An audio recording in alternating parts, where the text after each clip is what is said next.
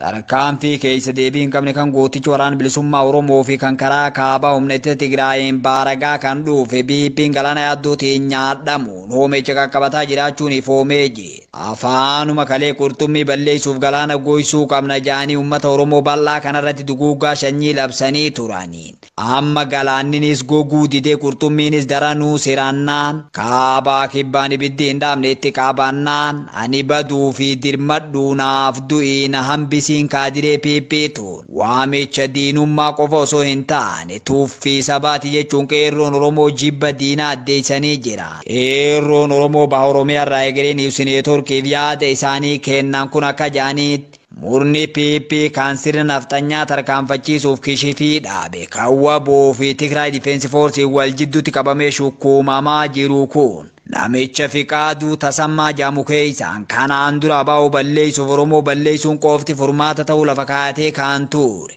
Yeroo ammatti ilmaan Oromootiin naaf dirmadhu jechuun isaa sabaa kana kan diinaa fi fira jaalalaa fi jibbaan hijaa fi galata beekne godhee fudhachuu isaati jechuun. kun ammoo maalummaa Oromoo wallaaluu irraa kan madde ta'uu isaa ibsuun waamichi diina baraaruuf dirmatuu gurrarra nuyyaatus jaanii jiran. Yeroo ammaa kanatti hooggantoota PP kan dhiphisaa jiru akkaataa itti baqatanii fi biyya itti baqatan qofa akka ta'es haasawa abdii kutannaa isaanii kan raayyaan itti biyyaa kophaa humna nuun lolaa jiru dura dhaabbachuu hin danda'u nuuf dirmadhaa jechuun moohamuu ragaa ifirratti bahuu irraa baruun danda'amee jiraas jaamee jira.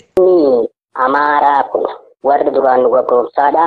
Haga har'aa kun har'a waan godhutti jiru bakka lolaa sanirratti ajaa'iba rabbii bakka amma dase achitti hayit kan jedhamu irratti ilmaan Oromoo kan Oromiyaa irraa dhufe isaantu fixee geessise. Oromummaa isaanii beekanii warri amma faannoo jiru sun uummata lafarraa fixee geessite amma gadi dhufanii karaa amma kamishee kanarratti dhufanii kamishee irratti